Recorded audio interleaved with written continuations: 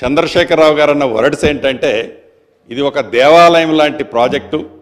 ప్రపంచంలోనే అద్భుతంగా కట్టిన ప్రాజెక్టు.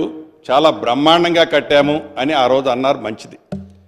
ఇదే కలవకుంట్ల చంద్రశేఖరరావు గారు నాలుగైదు రోజుల క్రితం నల్లగొండ వెళ్ళినప్పుడు వాళ్ళకి పని బాట లేదు బొందలగడ్డకు పోయారు అన్నారు.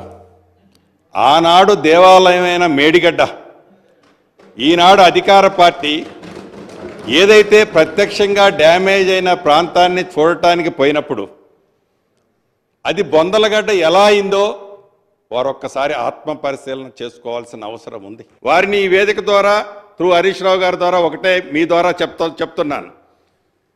ఇది నవంబర్ నెలలో అంటే మీరు అధికారంలో ఉన్న నలభై ఐదు రోజులకు ముందే కూలిపోయింది మేడిగడ్డ ప్రాజెక్టు.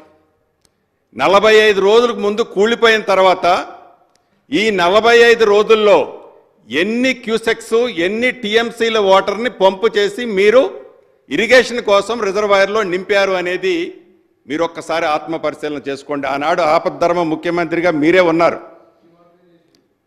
మీరే ఉన్నారు. కనీసం ఒక్క టీఎంసీ వాటర్నైనా రివర్స్ పంపించి ఈనాడు మీరు నేనున్నట్టయితే సస్యశ్యామలంగా నీరు ఇచ్చేవాడిని పంట రెండో పంటకు నీళ్ళు ఇచ్చేవాడిని అని చెప్తున్నారు.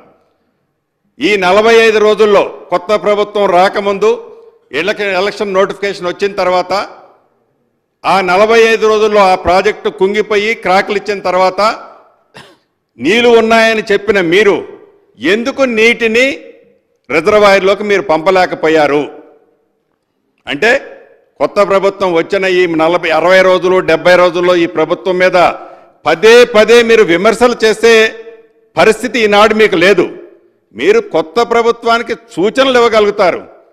పది సంవత్సరాల క్రితం ఉన్న ఉమ్మడి ఆంధ్రప్రదేశ్లో ఉన్న ఆనాటి కాంగ్రెస్ ప్రభుత్వంలో ఉన్న అంశాలని పదే పదే ఆనాడు ఉమ్మడి ఆంధ్రప్రదేశ్లో తెలంగాణ రాష్ట్రానికి అన్యాయం జరిగిందని కాబట్టి తెలంగాణ రాష్ట్రం వచ్చిన తర్వాత మనందరం కొత్త జీవితం పద్దాక పాత జీవితంలోకి పోయి ఆనాడు కాంగ్రెస్ పార్టీ ఆనాడు ప్రభుత్వం అన్నదానికంటే ఈ కొత్త ప్రభుత్వంలో మమ్మల్ని విమర్శించే పాయింట్ నాటు అన్న కూడా లేదనేది గౌరవ సభ్యులు మీ ద్వారా గమనించాలనేది నేను తెలియజేసుకుంటున్నా.